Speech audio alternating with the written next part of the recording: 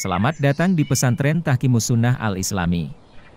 Di tengah rutinitas pagi hari di lingkungan pesantren Tahkimus Sunnah Al-Islami, dan dengan semangat pagi yang mereka bawa dari asrama santri,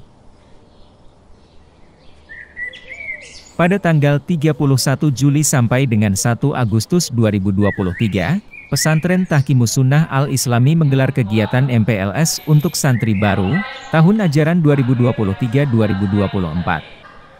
MPLS merupakan kegiatan yang diadakan di awal tahun ajaran baru, untuk membantu siswa atau santri baru mengenal lingkungan sekolah atau pesantren, ustadz, guru, dan teman-teman yang lain, serta kebijakan dan aturan yang berlaku di sekolah atau pesantren tersebut.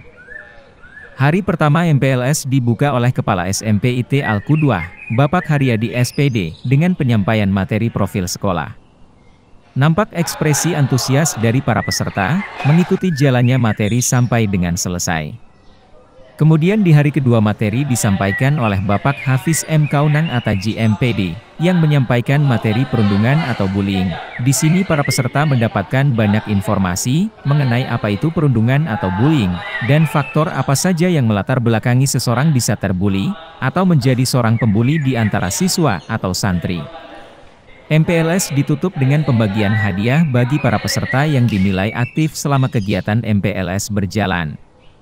Semoga para peserta MPLS mampu beradaptasi dengan cepat, senantiasa bersemangat dan antusias dalam mengejar ilmu di pesantren Tahkimus Sunnah Al-Islami, dan bisa menjadi panutan baik di lingkungan pesantren maupun saat berada di lingkungan tempat tinggal.